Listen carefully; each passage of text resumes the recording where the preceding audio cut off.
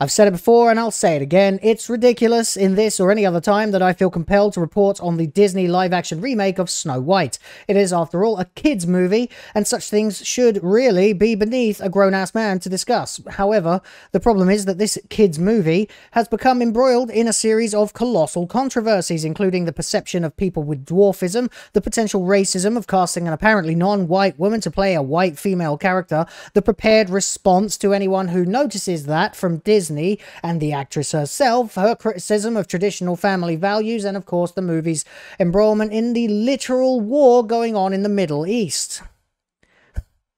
I'm telling you, this is a ridiculous era where we feel the need to discuss and focus on kids' movies, Disney movies, because they might be harmful to children.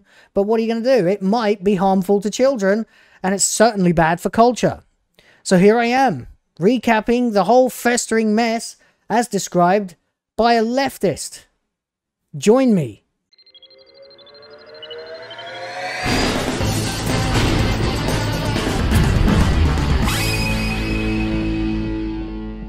Hello, welcome back to Will of the Fans. My name's Will. See what I did there? Hope you're having a lovely, lovely day. We're going to go down the rabbit hole once again into the Snow White conundrum.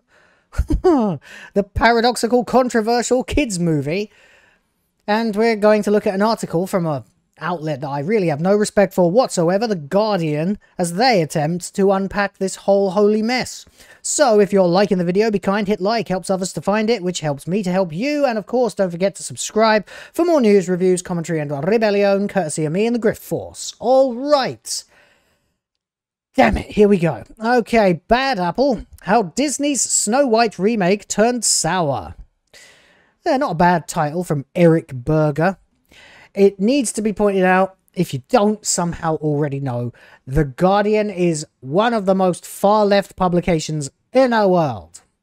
So, guess I'm just a glutton for punishment. But let's see how they try to um, unpack all these controversies that have been caused by leftism. so, yeah, let's just have some fun. In theory, it must have sounded like a good idea. Yeah, but then so did Marxism.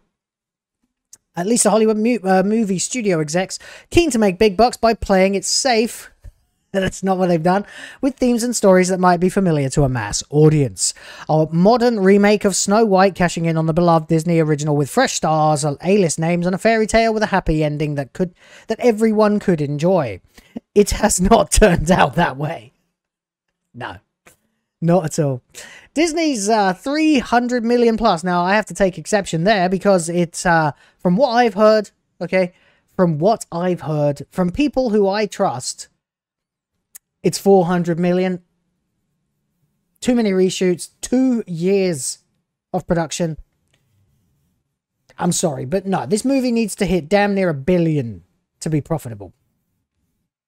Like, at all uh, has generated a slew of headlines for all the wrong reasons. First, given the original relied on the outdated social mores of the 1930s, and I've specially highlighted, double highlighted, outdated there in trans turquoise because what's so outdated about the social mores of the 1930s? Men were men.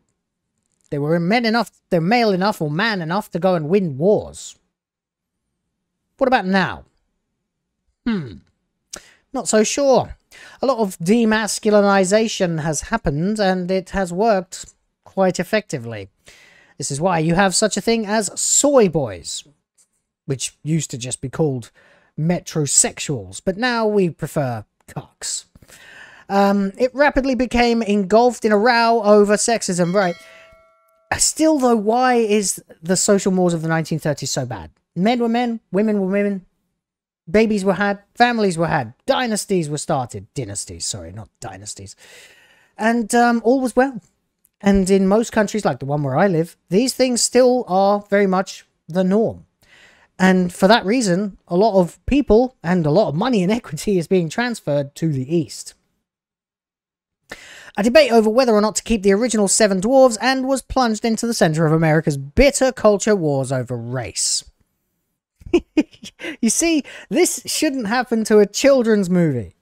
If you had just cast a regular white actress to play Snow White, whose skin was white as snow, and you know, seven little people to play the dwarves, guess what? You'd have a family film. It would have been out by now.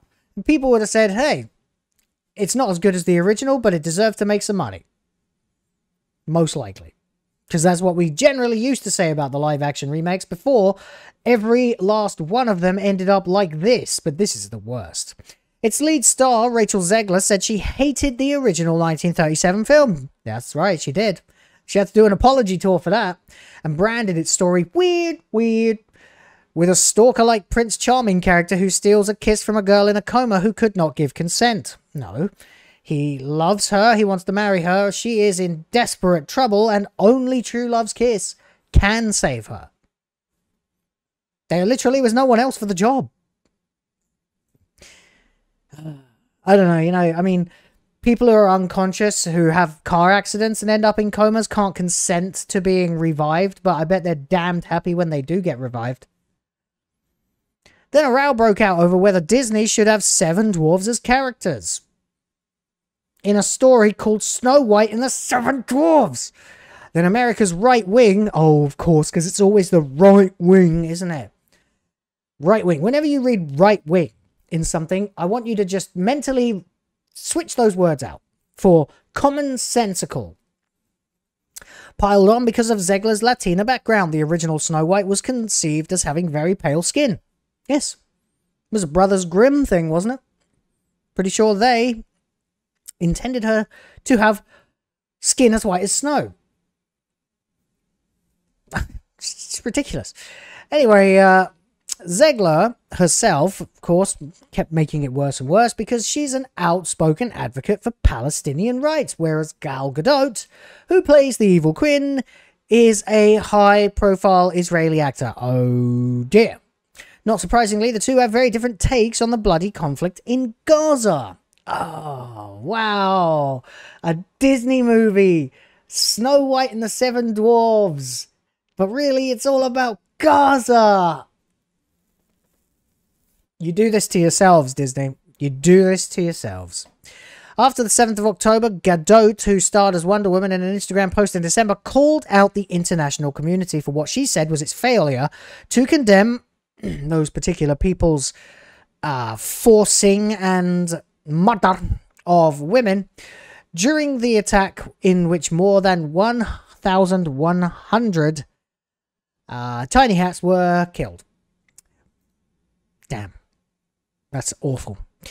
Uh, she then made a film about it, but she didn't, or she didn't make a film. She screened a film about it, but she didn't want to attend because she was actually afraid for her safety. So there you go.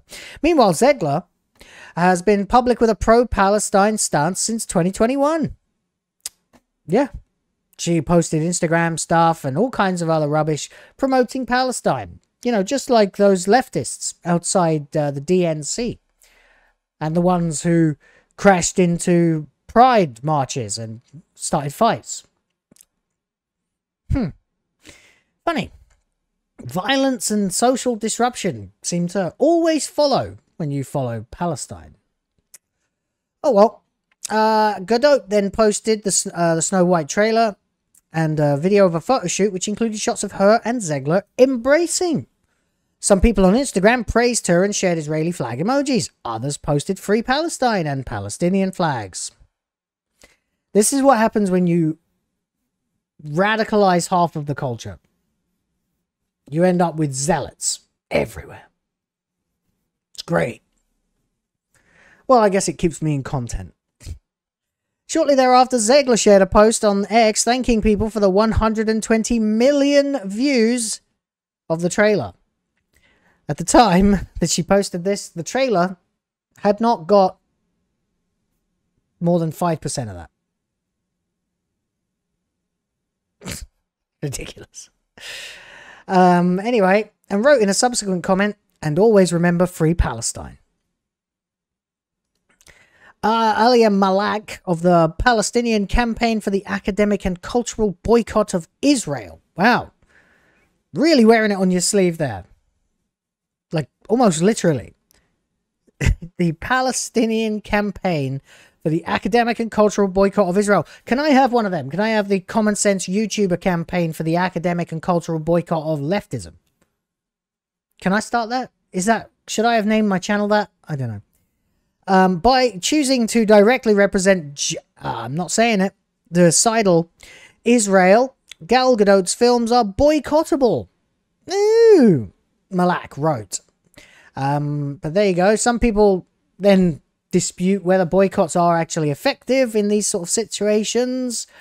Um, Malak supports uh, supports a boycott of the film despite Zegler's advocacy for Palestinians. Well, throwing her under the bus then, eh?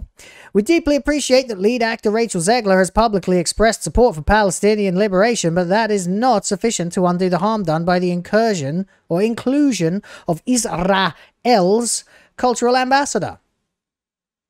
Um, alright, boycott it. Go ahead. I don't give a crap. In fact, I might watch it just to screw with you. Joel Petlin, superintendent of the Kiryas Joel School District, thinks Zegler was just trying to goad her co-star, oh, who I believe has been subject to some level of abuse because she's Israeli. Well, that's actually true. See, they like to say that Rachel Zegler had some abuse, but no, what happened was she was criticized. And when you make an utter ass of yourself, you can expect to get criticized. Anyway, it goes on and on and on for a while. It even brings up J.K. Rowling in there as well because of a perception of her as being transphobic, but more like trans disgusted. Um, there is a little doubt that Snow White's backers did not want to end up in a fight over the Middle East.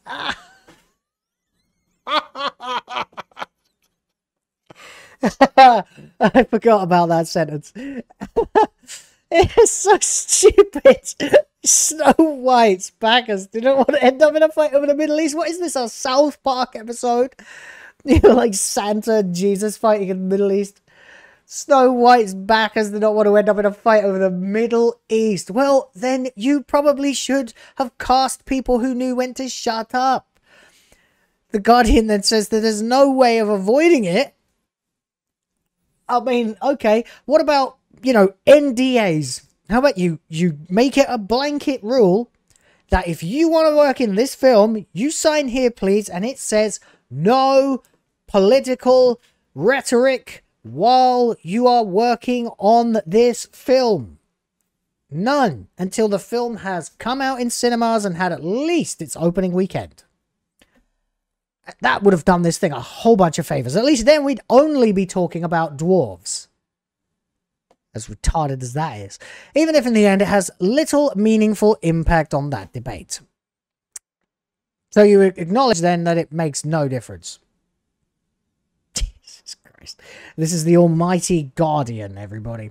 So there you go. They have no answers either. Neither do I. All of this could have been avoided, of course, like I just said, by telling your actors that you don't get paid a damn penny if you say a single freaking thing about any kind of politics at all. If you did that, you might make some freaking money, but no. Because Disney, of course, is a leftist organization and they think that what they're doing is actually good. Well, reap what you sow, you slags. Let me know what you think about this in the comments down below. Don't forget to like the video if you enjoyed it and subscribe to Will of the Fans if you'd like to see more of me. I'd like to see more of you. I'll be back with another video for you very, very soon. But until then, remember to question everything, respect the fans, check out the Discord link below, and I'll chat to you next time. Break